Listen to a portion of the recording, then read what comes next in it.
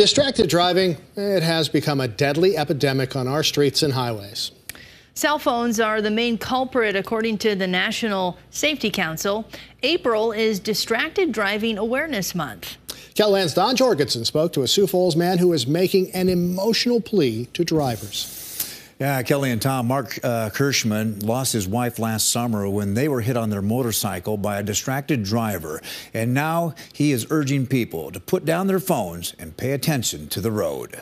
Well, you know, it was August 13th and it was just like any other day. But it didn't end like any other day. I would say it's the worst day of my life, absolutely.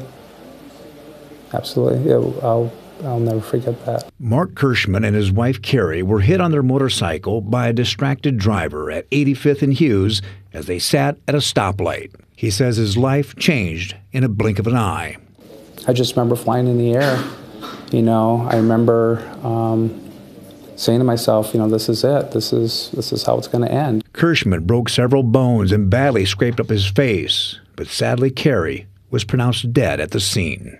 He remembers on the way to the hospital asking the EMT about Carrie. I started asking her, "Now, is this real? Is this, uh, you know, is this a dream or is this a nightmare? Is this real?" I kept screaming that, and then she finally kind of grabbed my face and she said, "I'm sorry, sir. This is real."